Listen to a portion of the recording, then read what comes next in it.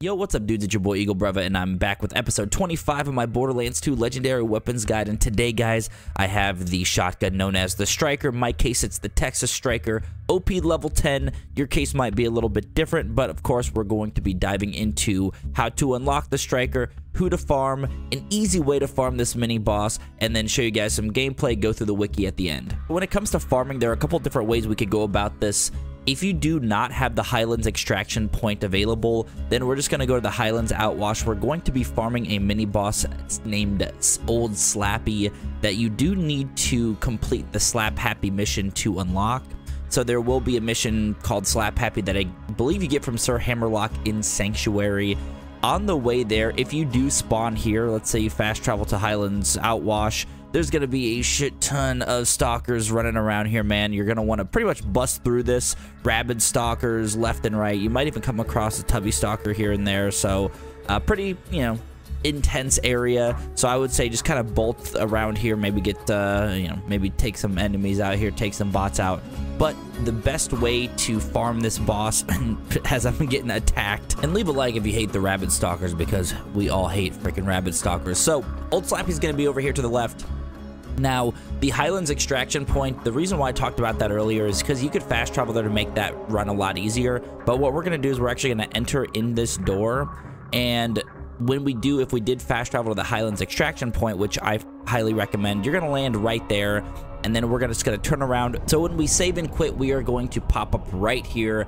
You don't have to run through all those freaking stalkers or bots or anything like that makes the farm a lot easier. So again, as I mentioned, you do need to complete the Slap Happy mission you get from Sir Hammerlock and Sanctuary. You're gonna see old Slappy. He's gonna be invincible initially. So no point in shooting him right now, but he's gonna go back under. Old Slappy's a pretty easy boss to farm. Uh, he does sneak us one and give us a little whack right there, but it's okay. That ain't nothing. You can see we do take him out pretty easily, man. This is a little bit of an OP glitch, but it makes farming a lot easier. He does drop us the striker you guys can see right there. So let's jump into the gameplay and walk you through the wiki. I also literally just noticed that as, as I'm uploading these episodes, they're uploading it on the same exact date. Uh, pretty weird how that works out, but hey, we'll take it. The Striker is a legendary shotgun manufactured by Jacobs. In Borderlands 2, the Striker is obtained randomly from any suitable loot source, but has an increased chance to drop from Old Slappy located in the Highlands Outwash. It is also in the pre-sequel, but of course, we aren't talking about the pre-sequel. The red text says, Fandir 13. Special weapon effects, 50% additive critical hit bonus, and a 15% multiplicative. I hate when they add that word because I'm, I'm always stumbling over that multiplicative crit hit bonus added with exceptional accuracy, minuscule spread, and increased recoil. Increased weapon zoom when sighted, slightly reduced damage. And you guys can see here, man, when I'm shooting this gun, it seems like ADS is the way to go. That's why I have Maya out here. If I was coming in with Sal, I don't know why, but for some reason I'd be freaking missing all my shots. I know my aim ain't the best, but it ain't that freaking bad, man. So uh, for some reason, accuracy is good when you are ADSing, uh, but you know the striker's doing ish, decent ish damage. Um, I'm sure there's some builds out here that you could spec into like shotgun damage or whatnot, but you know it, it was it was okay. It's a good one to have, of course, but for me, it just wasn't putting out as much damage as I'd hoped. The usage and description says, unlike its Borderlands counterpart, apparently it's in the first Borderlands, with massive damage at the cost of fire rate, the Striker is now semi-automatic with a small magazine in Borderlands 2.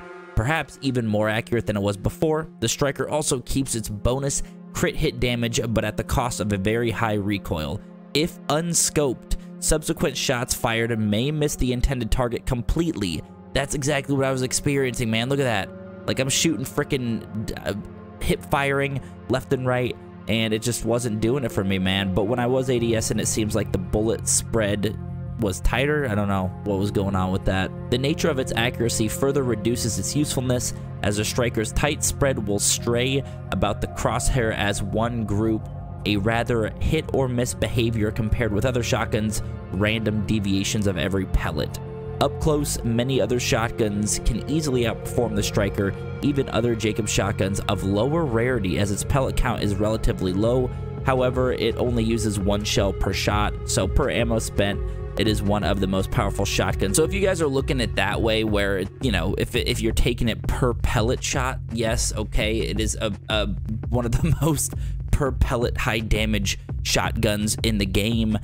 However, man, it shoots like two shots per trigger pull, uh, and it just doesn't seem to be doing the damage that I that a lot of other shotguns have done. You even said in the usage and descriptions, you even heard that they said that guns with lower rarity may even be more powerful than this gun. So, yeah, of course, you know, since we are going to be farming every single legendary, we do need to get this one. This is a good one to have. And, you know, it did perform a little bit more than my expectations because from what I've, you know, just playing this game the last freaking 10 years, man, I've never really used the striker and I know it's notorious for being pretty bad. Um, but it, it, did a decent amount. All right, I'm not going to dump on the gun uh, because I don't have like a shotgun spec build or anything like that. You guys could probably make this beastly, but from what I got from it, it wasn't that great. Anyway, guys, that was episode 25. If you guys do enjoy this series, man, I appreciate a thumbs up. Uh, we've been crushing it. We've been trying to get out every every day a video for you guys. Having a lot of fun in Borderlands 2 10 years later. And also let me know in the comments below if you guys are back playing Borderlands 2 like me. Are you following along? Are you getting these legendaries as I'm getting them? We're almost going to have to start tra transferring some of these over to like a, a mule account or something because we're getting legendaries left and right. But again, appreciate you guys for stopping by. We'll catch you in the next episode. Peace.